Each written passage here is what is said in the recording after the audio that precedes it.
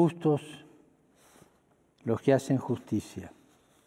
Justo sabiendo que cuando resolviendo en el derecho damos a los pobres las cosas indispensables, no le damos nuestras cosas ni las de terceros, sino que le devolvemos lo que es suyo.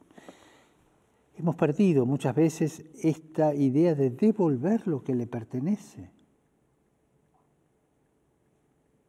Construyamos la nueva justicia social, asumiendo que la tradición cristiana nunca reconoció como absoluto e intocable el derecho a la propiedad privada y subrayó siempre la función social de cualquiera de sus formas.